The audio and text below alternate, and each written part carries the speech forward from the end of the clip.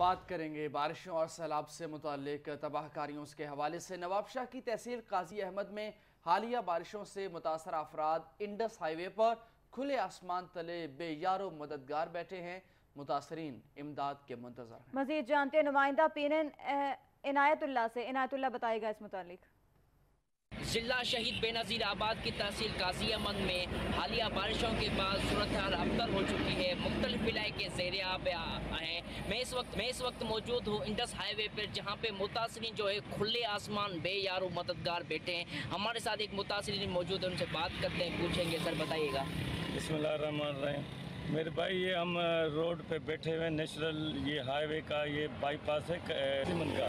तो ये सारे हम जो बेयार मददगार बैठे हुए हैं, जो मुतासर हैं इधर, जो हमारे घर डूबे हुए हैं, सामान हमारा सारा डूबा है। अब तक कोई भी हुकूमत हमारे साथ कोई भी तावन न किया है। जो आते हैं वो बड़े बड़े ज़मींदार या जागीरदारों के पास, वहाँ उनके बंगले पे जाके ये सामान देते हैं। हमें तो कुछ भी नहीं मिला है। हम तो अल्लाह के तरफ़ से बैठे हुए हैं, वो मदद मांग किया आपने मुतासरी की बात की, उनका कहना है कि हुकूमत की तरफ़ से कोई भी हमारे पास नहीं आया।